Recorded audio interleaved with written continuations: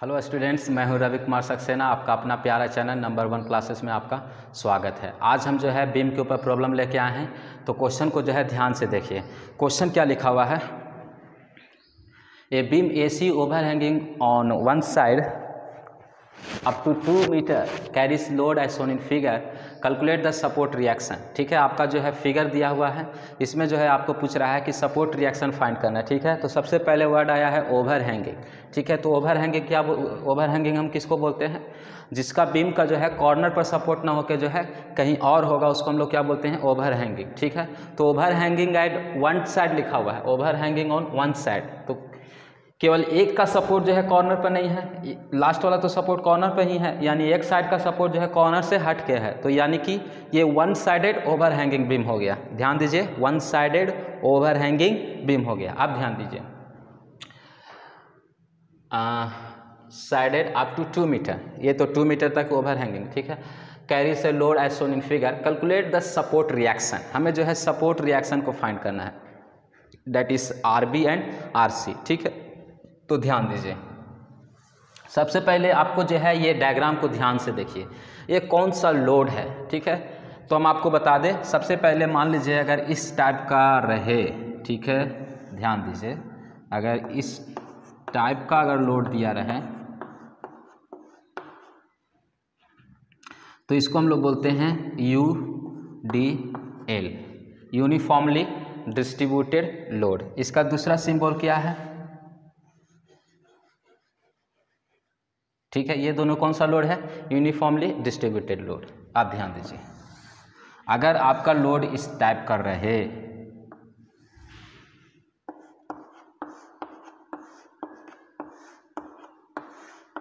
तो इसको हम लोग बोलते हैं यूनिफॉर्मली वायरिंग लोड कोई डाउट है स्टूडेंट्स नहीं। ये कौन सा लोड हो गया? यूडीएल लोड ये कौन सा लोड होगा? यूवीएल लोड अब ध्यान दीजिए, इस डायग्राम को ध्यान दीजिए। इसमें कौन सा लोड है? ध्यान से देखिए। तो आपको जो है कन्फ्यूज़न हो रहा होगा। कन्फ्यूज़न हो रहा। आप ध्यान दीजिए थोड़ा सा। हम जो है यहाँ पर डॉट डॉट लाइन लेनी है। ये कौन सा लोड बन गया यहाँ से यहाँ तक? तो यू डी एल यहाँ से यहाँ तक कौन सा लोड बन गया? यू वी एल यानी कि यू डी एल और यू वी एल दोनों को जो है कंबाइन किया गया है। ध्यान दीजिए यूडीएल और UVL that is uniformly distributed load and uniformly varying load दोनों को क्या किया गया है? कंबाइन किया गया है। तो ध्यान दीजिए, यहाँ से यहाँ तक, अब जो है हम डायग्राम में थोड़ा सा एडिट कर रहे हैं। यहाँ से यहाँ तक आपका हो गया, ये आपको कौन सा लोड हो गया? तो आप बोलिएगा, sir this is uniformly distributed load ठीक है? अब हम पूछें कि ये कौन सा लोड हो गया? ऊपर ये इस तरह से बन गया, ठीक है? तो ये कौन सा लोड हो गया? तो यूनिफॉर्मली वायरिंग लोड समझ में आ गया? चलिए, अब हम क्या करते हैं? इसको हम पहले इरेज कर लेते हैं।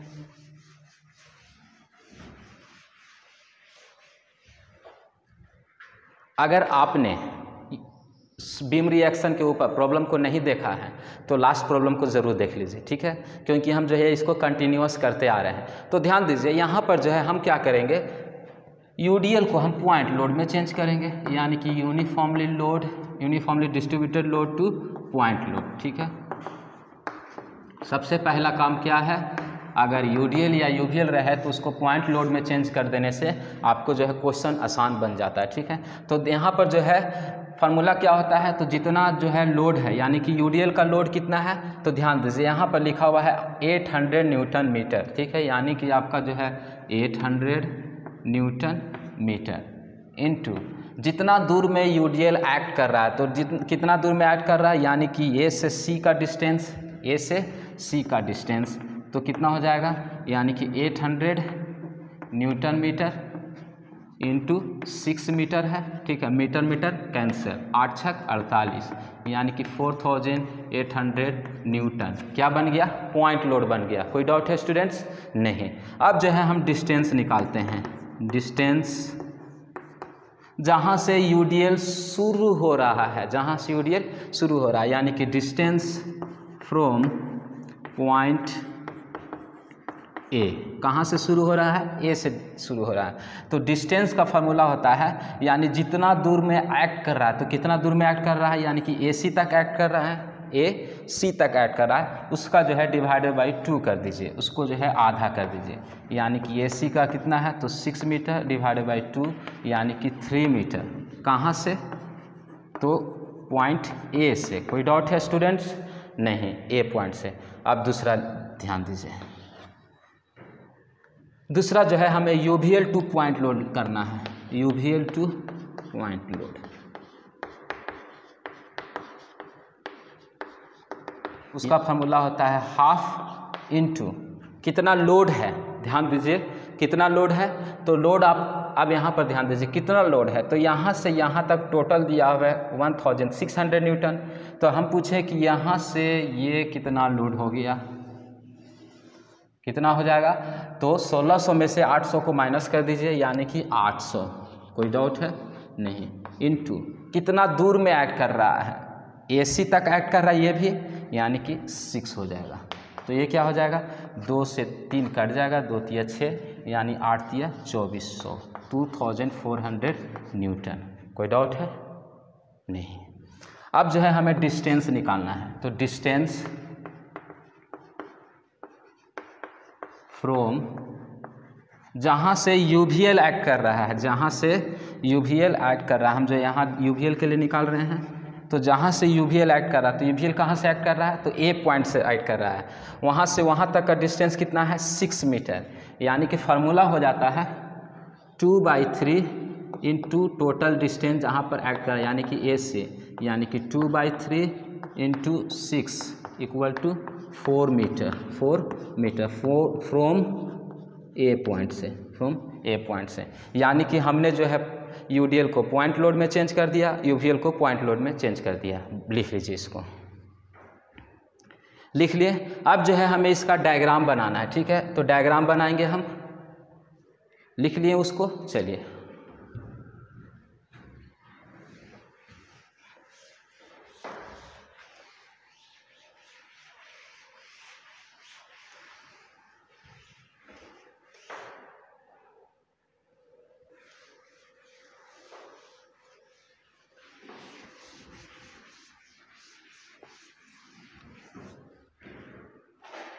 डायग्राम बनाएँगे, यानी कि सबसे पहले जो है टोटल ए सी का डिस्टेंस कितना है? तो ए से सी का डिस्टेंस लिख लीजिए ए टू सी ठीक है?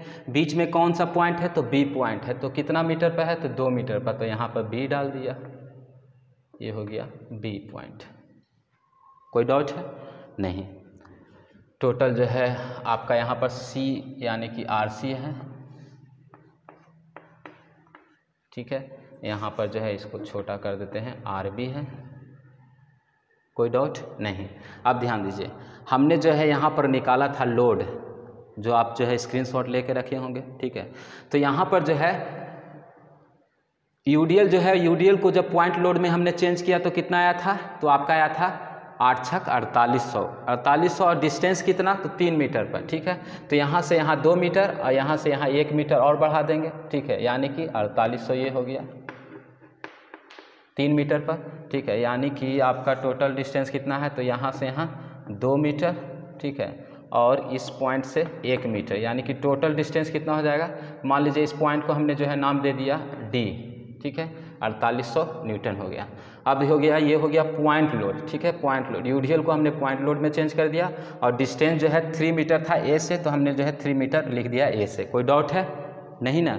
देख लीजिए आप जो अभी बनाए थे, ठीक है? आप ध्यान दीजिए। अब जो है हमने पॉइंट यूवीएल को भी पॉइंट लोड में चेंज किया था तो डिस्टेंस कितना आया था? ए से फोर मीटर तो ए से फोर मीटर अभी जो है यहाँ थ्री मीटर हो चुका है यानी कि एक मीटर और ले लीजिए फोर मीटर ठीक है? यानी कि यहाँ से कितना मीटर यहाँ से तो वन मीटर ठीक है? टोटल डिस्टेंस कितना था? तो दो दो चार यानी कि यहाँ कितना बच गया? दो मीटर कोई डाउट है स्टूडेंट्स नहीं ना? नहीं ठीक है? यानी कि आपका ये पॉइंट ले लीजिए ई e, ये कितना हो गया था? तो चौबीस सौ न्यूटन। कोई डाउट है? नहीं, ध्यान दीजिए, हमने जो है ये लिया और उसके बाद सी पॉइंट लिया, ठीक है? और बी पॉइंट लिया, जो पहले जैसे था उसे ले लिए, ठीक है?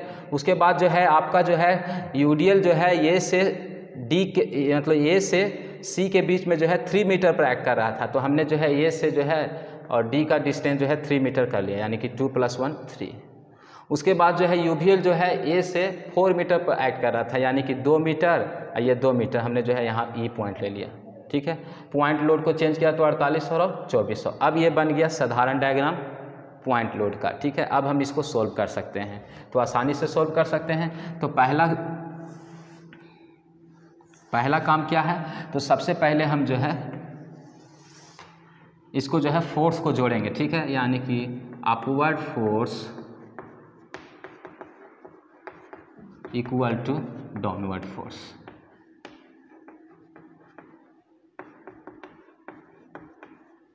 upward force equal to downward force तो अपवर्ड फोर्स जो है कितना है? यहाँ पर ध्यान दीजिए अपवर्ड फोर्स कितना है आपका? जिसका एरो जो है ऊपर की ओर है, उसे हम बोलते हैं अपवर्ड फोर्स जिसका एरो नीचे की ओर है, उसको हम लोग बोलते हैं डाउनवर्ड फोर्स ठीक है? यानी अपवर्ड फोर्स है आपका R B plus R C equal to अड़तालीस सौ प्लस चौबीस। सौ कोई डाउट है? नहीं। यानी कि R B plus R C equal to बहत्तर सौ ठीक है? ये इक्वेशन नंबर वन। कोई डाउट है स्टूडेंट्स? नहीं। अब हम क्या करते हैं? मोमेंट निकालते हैं। तो मोमेंट जो है निकालिए। तो मोमेंट एट। हम जो है मोमेंट निकालते हैं बी पॉइंट पर। कौन सा पॉइंट पर निकाल रहे हैं? बी पॉइंट पर। ध्यान दीजिए, आपका जो मन है, वहाँ पर निकाल सकते हैं। अभी हम फ़िलहाल निकाल रहे हैं बी पॉइंट पर। तो बी पॉइंट पर निकालेंगे तो क्या हो जाएगा? लास्ट क्लास में हमने आपको बताया था clock clockwise moment clock clockwise moment equal to anti clock clockwise moment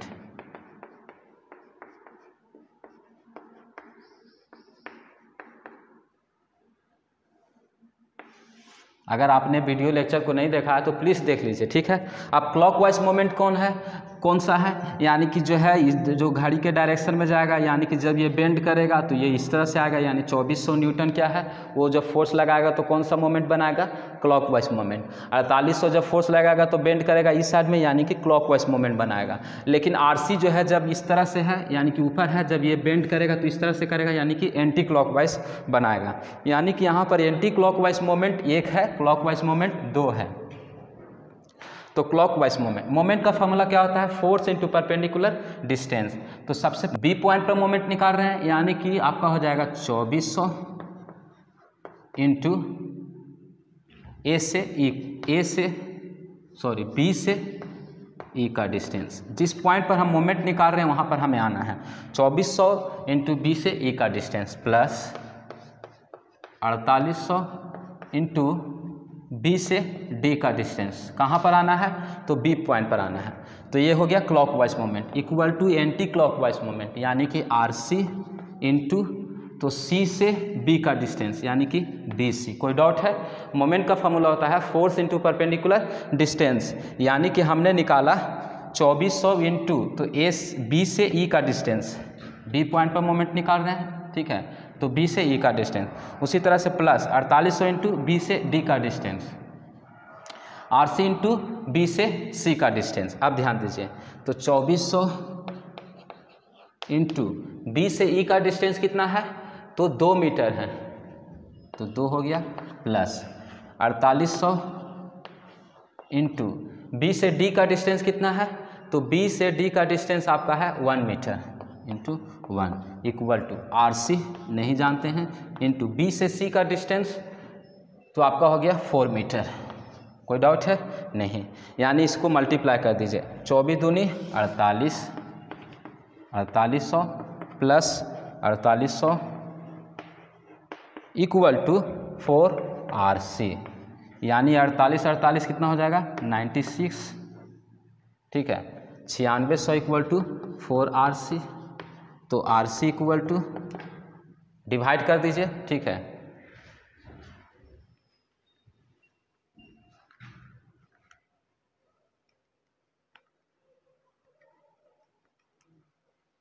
यानी R C equal to two thousand four hundred newton कोई डाउट है स्टूडेंट्स नहीं।